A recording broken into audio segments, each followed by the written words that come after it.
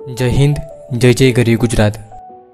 ગુજરાત વિશે જાણવા જેવું, આ વીડિયો સિરીઝમાં ગુજરાત વિશે જાણવા જેવી અવનવી માહિતી અમે આપીએ છીએ અને આ સિરીઝનો આ ચોથો વીડિયો છે. તો ચાલો જાણીએ ગુજરાતને.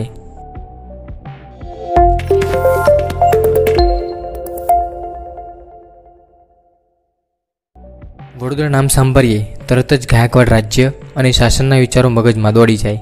પણ શું તમે જાણો છો, વડોદરા બીજા નંબરની રાજધાની હતી? હા, વડોદરા પહેલાં પણ ગુજરાતનું એક નગર ગાયકવાડની રાજધાની રહી ચૂકી છે, જે હાલ તાપી જિલ્લામાં આવેલો તાલુકો છે, જેનું નામ સોનગઢ છે અને સોનગઢ કિલ્લે તરીકે પણ ઓળખવામાં આવે છે. તે સમયે સોનગઢ મેવાસી ભીલોના કબજામાં હતું.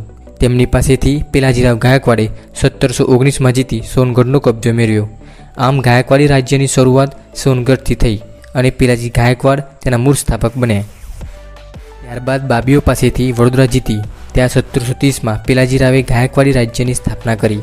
આમ મુખ્ય થાણું સત્તરસો ઓગણત્રીસ સુધી અને મુખ્ય મથક સત્તરસો ત્રેસઠ સુધી સોનગઢ ખાતે રહ્યું.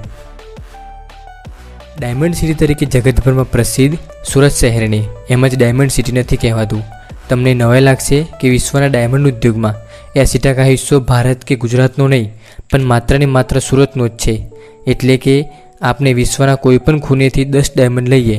તો તેમાંથી આઠ ડાયમંડ તો માત્ર સુરતમાં જ કટિંગ અને પોલિશ થયા હશે. તે સિવાય સુરત ભારતની top ten cleanest city of ઇન્ડિયામાં ઇન્દોર પછી બીજા નંબરે છે, જે ગુજરાતીઓ માટે ગર્વની વાત છે. ઘરે ફ્રી રહેતી સાત ગુજરાતી મહિલાઓએ મુંબઈમાં એંસી રૂપિયા ઉધાર લઈને શરૂ કરેલો ધંધો આજે સોળસો કરોડે પહોંચ્યો છે. તમને ખબર પડી જ ગઈ હશે કે હું વાત કરી રહ્યો છું લિજ્જત પાપડની. સૌ પ્રથમ એસી પાપડ બનાવીને શરૂઆત કરી હતી જે તેમની મહેનત, લગન અને પાપડની ગુણવત્તાના કારણે વિશ્વ પ્રસિદ્ધ સંસ્થા બની ગઈ છે. અને આ સંસ્થા કોઈ એક વ્યક્તિની માલિકીની નથી, પણ સહકારી ધોરણે ચાલતી સંસ્થા છે, જેમાં દરેક કર્મચારી મહિલાઓ હોય છે. અને મજેદાર વાત એ છે કે, આ પાપડ બનાવવા માટે હિંગ છીક અફઘાનિસ્તાનથી મંગાવવામાં આવે છે. ગુજરાતમાં જિલ્લાની સંખ્યામાં સમય સમયે પરિવર્તન થતું રહ્યું છે. શરૂઆતમાં સત્તર જિલ્લા હતા જેમાં એક એક પાંચ, એક એક સાત એમ સોળ નવા જિલ્લા ઉમેરાયા છે. પણ તેત્રીસ જિલ્લામાં ત્રણ જિલ્લા એવા છે કે જેમનું વિભાજન આજ સુધી ક્યારે પણ થયું નથી. એટલે કે તેમાંથી આજ સુધી ક્યારે પણ કોઈ નવો જિલ્લો બન્યો નથી.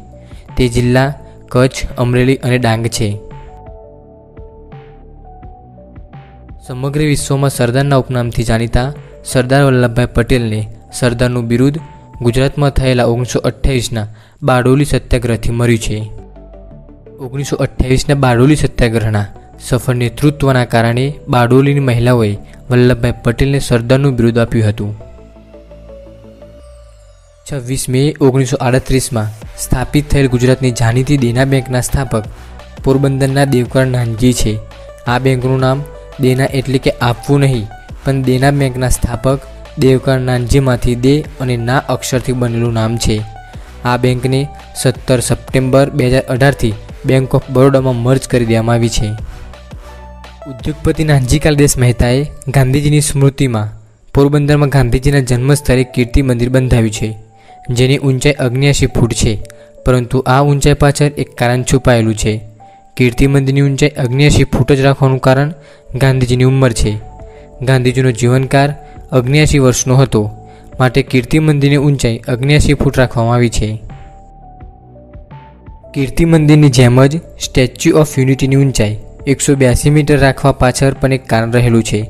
આ સ્ટેચ્યુની ઊંચાઈ એકસો બ્યાસી મીટર હોવાનું કારણ ગુજરાત વિધાનસભાની સીટો છે. એકસો બ્યાસી સીટો ગુજરાત વિધાનસભાની હોવાથી ઊંચાઈ એકસો બ્યાસી મીટર રાખવામાં આવી છે. એકસો બ્યાસી મીટર ઊંચાઈ માત્ર સ્ટેચ્યુની છે પાયા સાથે તેની ઊંચાઈ બસો ચાલીસ મીટર છે એટલે કે સાતસો નેવું ફૂટ થાય.